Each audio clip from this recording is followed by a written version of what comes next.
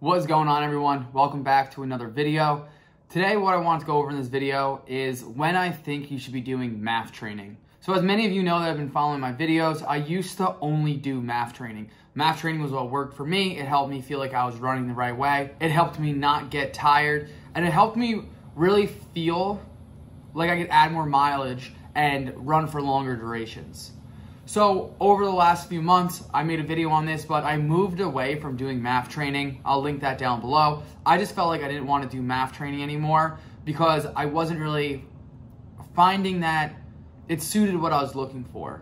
So for those of you that don't know what MAF training is, that's it, that stands for maximum aerobic function. It's basically the point where you're running prior to the to starting to burn sugar for your fuel. So the way Phil Maffetone, who is probably the leader in MAF training, talks about it is that if you subtract your age minus 180, you will have your MAF heart rate. And that's the heart rate that you stay under. And roughly speaking, if you stay under that heart rate, you're gonna be burning fat as fuel while you're running and building your aerobic base and not burning sugar.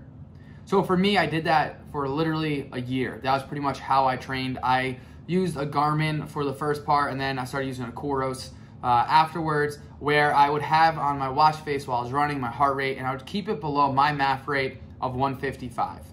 So for me, I did that for a long time, but I, I ultimately ended up moving away from that. But I wanted to talk about today why you should do MAF training and when you should do MAF training. There's a few different reasons. The first one I would say is when you're starting to run. If you're new to running and you're just learning how to run and getting into endurance training, I would say start with MAF training. And the reason why is I think it's a very good way of pacing yourself. I think it's a very good way of not going out and hammering too hard.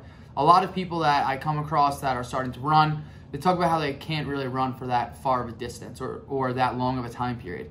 And it's really because they're going out and they're pushing too hard. What MAF training will do is it'll have you basically stay in a range where you're not running too hard. You're running at a comfortable pace. And if you do happen to increase your heart rate too much, you're gonna have to slow down to get back under your MAF rate. So if you're just starting to run, I think it's a great way to give your body a hard stop, if you will, to not push too hard.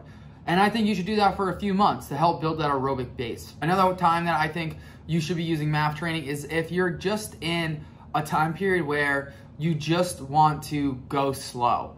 And if you feel that you're a little, you're running a little bit too hard, I'd say use MAF for that time period that you want to go slower and want to build that aerobic base. So maybe this is preseason, um, maybe this is during a time where you just finished your season and you want to continue to run and stay active, but you don't want to run hard.